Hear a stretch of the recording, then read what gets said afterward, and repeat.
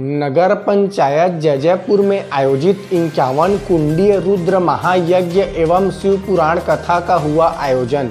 नगर पंचायत जयजयपुर में आयोजित इक्यावन कुंडीय रुद्र महायज्ञ एवं शिव पुराण कथा का आयोजन हुआ। यह आयोजन 7 फरवरी से 18 फरवरी महाशिवरात्रि तक हुआ। सहस्त्रधारा के पश्चात आयोजन संपन्न हुआ है।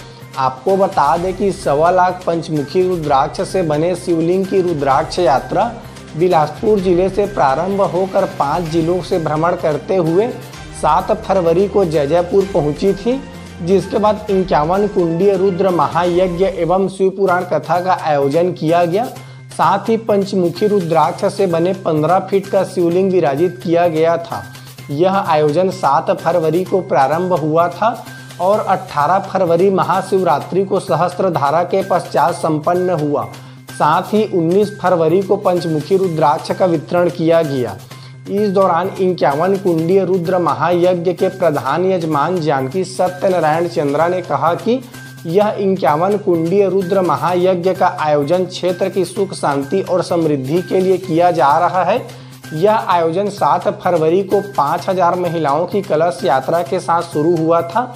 महाशिवरात्रि के दिन शिव पुराण कथा और इक्यावन कुंडीय रुद्र महायज्ञ का पूर्णाहुति हुई है और सहस्त्र धारा हुई है।